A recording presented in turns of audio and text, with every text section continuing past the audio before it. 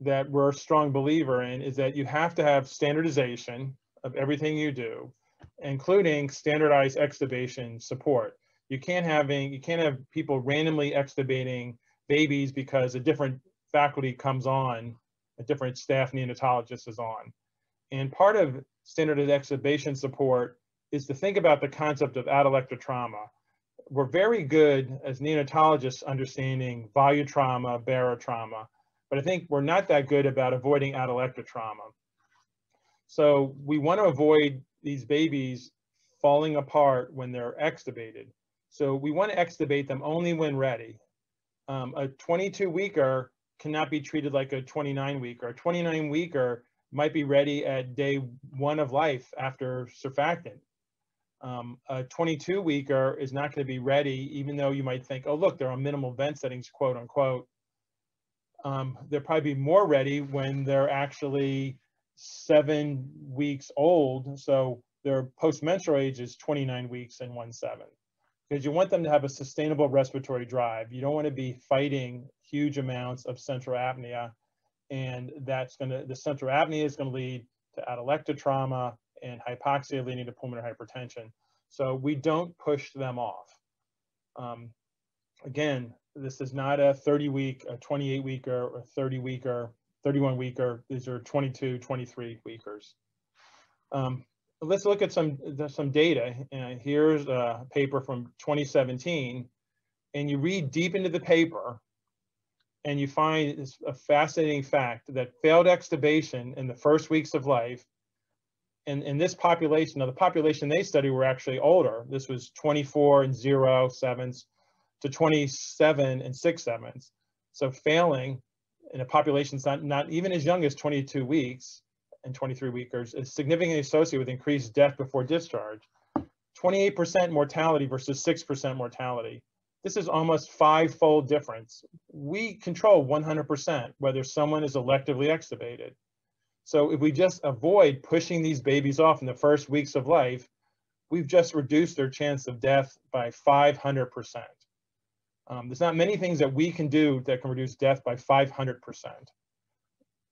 So it's very uh, critical not to push them off. And of course, in this study, it was easy to predict who was going to fail. The ones who failed were the 24 week babies. And the ones who failed were the 500 gram babies, not the 900 gram uh, 27 uh, weekers. And so it was very easy to know who was going to fail. Um, and so knowing that that you can predict that, you should not be doing it. So the goal is to minimize multiple failure attempts. Now, it, it wasn't just mortality that went up in this paper. IVH rate went up. Infection rates went up.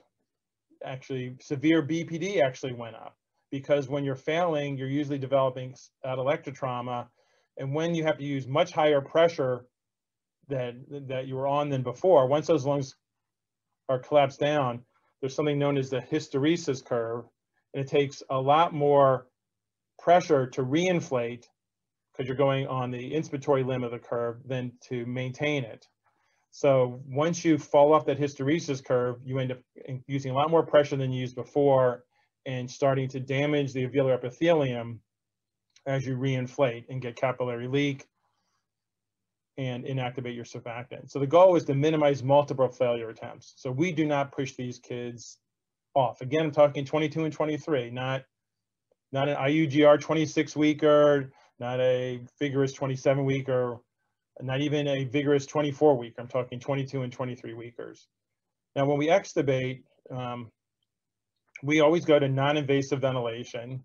We tend to use uh, NAVA currently for non-invasive ventilation. Um, but I think the key is any non-invasive ventilation is quite good.